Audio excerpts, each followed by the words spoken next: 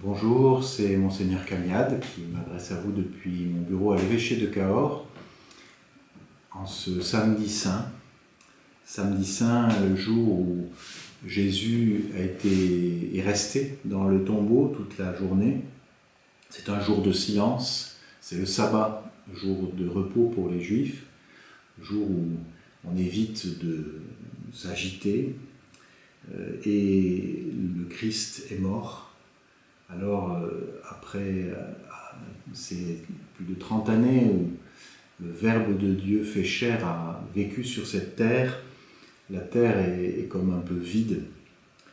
Euh, c'est un temps de sabbat, le Verbe fait chair a disparu. Il est enfermé dans un tombeau, du moins son corps, mort, enveloppé de linge la sainte coiffe du Christ que nous vénérons à Cahors est le rappel pour nous de ce moment plus particulier où le corps du Christ est dans le tombeau. Et il est venu rejoindre le mystère de la mort, l'habiter pour nous en délivrer. Dans ce jour, ce jour de silence, ce jour un peu vide dans la liturgie de l'Église, peut-être euh, qu'il est important pour nous de réapprendre à faire silence. Euh, je, suis resté impressionné pendant 2019, pendant cette année d'ostension de la Sainte Coiffe euh, à Cahors, de voir la, dévotion des gens qui venaient, des gens venant d'un peu partout, je ne sais pas combien de personnes sont venues, des milliers. ces gens se mettaient spontanément en silence devant ce linge qui rappelait la mort de Jésus, sa mise au tombeau et aussi sa résurrection. Mais déjà, euh, cette expérience-là de voir le silence, la prière, le recueillement autour de cet objet, euh, est quelque chose qui est impressionnant et qui nous dit quelque chose de ce que nous pouvons vivre dans ce samedi saint. On sait aussi que dans le temps que nous vivons, avec le confinement, avec la diminution des activités humaines sur notre planète, euh, paraît-il, les animaux aiment bien notre silence.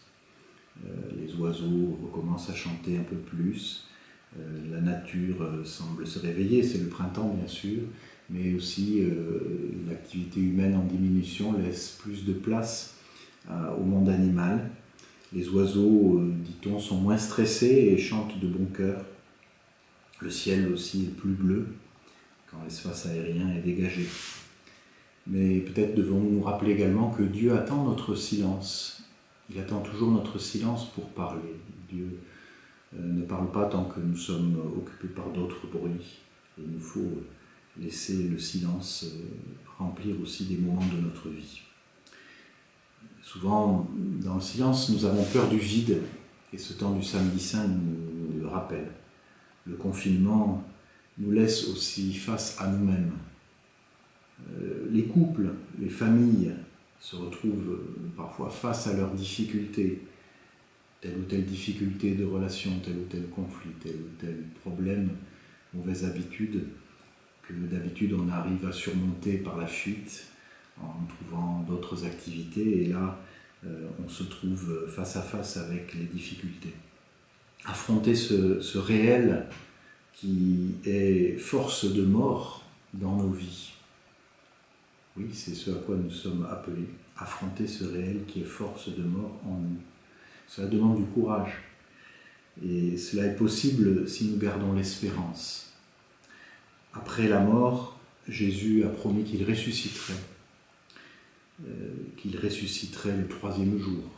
Mais il y a ce temps, ce temps d'attente, ce temps où n'existe que l'espérance.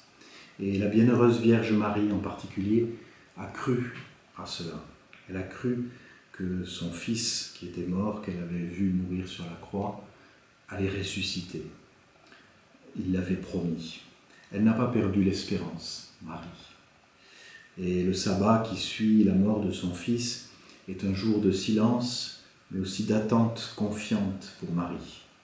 Le samedi, dans l'église, tous les samedis de l'année, souvent on peut faire et on fait une mémoire de la Vierge Marie parce que justement on sait que ce samedi saint, finalement il n'y a plus qu'elle qui porte l'espérance du monde, alors que tous ont fui, n'ont pas su affronter la difficulté de ce réel douloureux de la mort du Sauveur, mais elle reste dans l'espérance par la grâce qu'elle porte en elle, par la grâce qui lui été donnée par Dieu à cause de sa vocation de mère de l'Église. Vivons peut-être cette journée du samedi saint unie avec la Vierge Marie, dans la confiance et dans l'espérance.